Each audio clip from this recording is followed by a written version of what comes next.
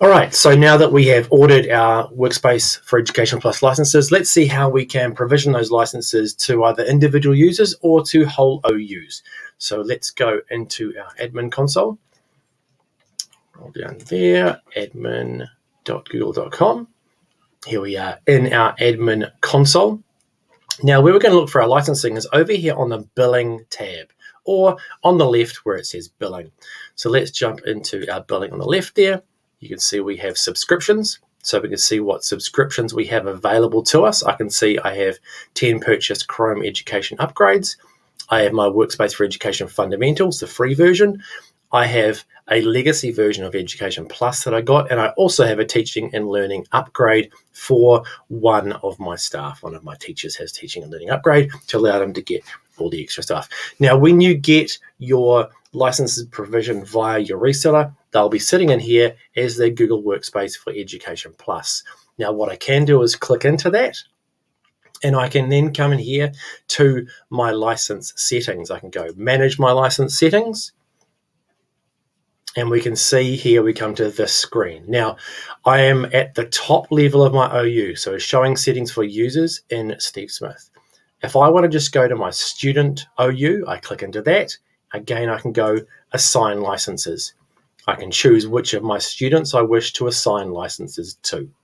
Okay, let's go back to my all organizations there. So here are all my students just from the organizational units. So let's go back to our billing, which is jumping back one screen. So if I wanted to give those people access to my upgrade, I can just go assign licenses and choose the individuals.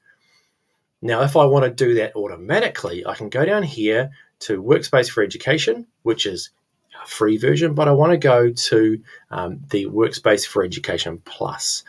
You can see here we have automatic licensing. If I go across the pencil and click it, apply it at the top level of my domain. So remember, I can do this for different OUs as well. I can switch this and switch it on and have automatic licensing across my domain, which means when someone new joins, they will pick up a license if we have enough sitting there. If someone leaves, it will be returned to that pool. So if I want to do this, let's just click cancel. If I want to do that for my teachers, I'll click my teacher OU. I'll go across to here, automatic licensing. I can either click here and drop it down and go on. So I can choose the OUs that I want to have automatic licensing on for. What that will mean is that the licenses will be applied to everyone in that OU.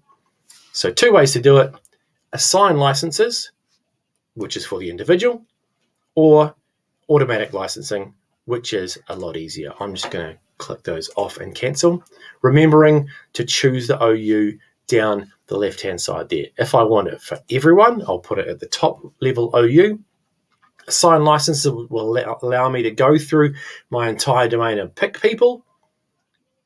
But if I want to do it automatically, I can switch on automatic licensing, and that means that those licenses will be applied to everyone in that OU.